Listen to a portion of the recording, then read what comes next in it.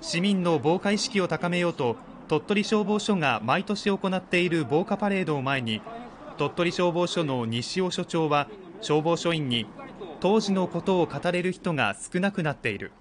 地域住民に防火意識を持ってもらえるようしっかりと呼びかけてくださいと訓示しました。1952年4月17日に起きた鳥取大火では市街地のおよそ3分の2が焼け2万人余りが被災しました。